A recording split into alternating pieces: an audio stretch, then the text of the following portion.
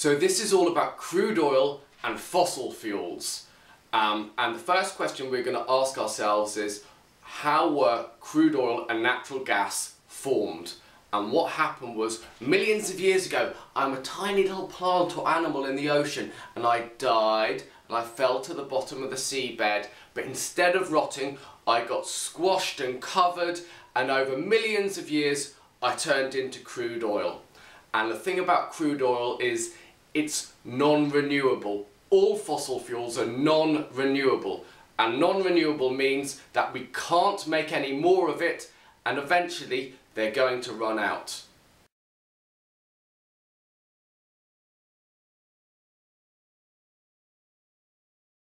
Now you need to know the meaning of the word hydrocarbon. A hydrocarbon is a compound made out of only two elements, carbon and hydrogen. So if we look at the diagram, methane, ethane, propane and butane are all hydrocarbons because they're only made out of carbon and hydrogen. But if we look at ethanol, look at that O, that's an oxygen atom, so it's not a hydrocarbon. So, what's the relationship between crude oil and hydrocarbons? Well, crude oil is a mixture, and it's a mixture of lots of different hydrocarbons. It also contains tiny little impurities like sulfur as well.